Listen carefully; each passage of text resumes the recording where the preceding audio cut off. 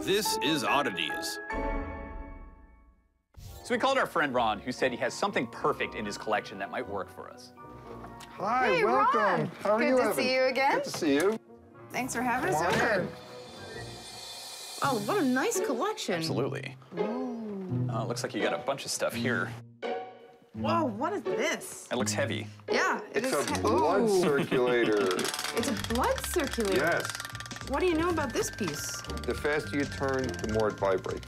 So it's a massager. It's a massager. Do you mind if I give it a go? Go ahead. I don't, well, Do you want me to crank? yeah, here, middle of my back. Okay. Uh-oh. That feels great. Thank you, Ryan. Go faster. Holy, it's right on my Change your voice. Your Yeah, voice went, that- It's a great. It's got a really nice logo on it too. This is beautiful. It doesn't necessarily modify the body though. I'm Ron. I'm a mechanical engineer, and I love antique engineering and quack medicine, amongst other collectibles.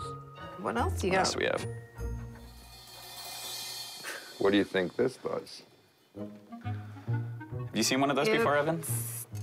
You don't use it in the kitchen. It does something to your face. Yes. I would assume that looks like it goes around your head. Yeah. Yeah. Uh, it's a nose clamp of some kind. Nose straightener.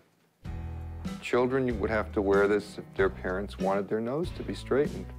Imagine wearing that to the junior prom.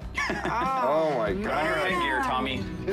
You can Yeah. actually close up on the nose. You can actually turn these arms and adjust them at different angles. This looks painful. I would think you would have to do it at an early age. And I guess That's if the child was sleeping and you tighten the screws up. Have you put it on? It hurts. Does it hurt? Does it? You've It's- tried it. You have a lovely nose. No, thank you. Years of therapy. Must work. Should I try it on? Yeah, absolutely. Looks a I'm little big for my- for my head, It is. It's but- actually quite large for a child's head. You'd have to clamp these. Here. I could I could deal with like a an inch off here. Well, you have a decent nose. Thanks, Evan. But wearing this, I don't think would have helped my chances Right, getting a you'd have date. What do you think? It's a gorgeous piece, but Yeah. I don't know if it quite has that wow value that they're looking for, that shock value. probably not the showstopper. Okay.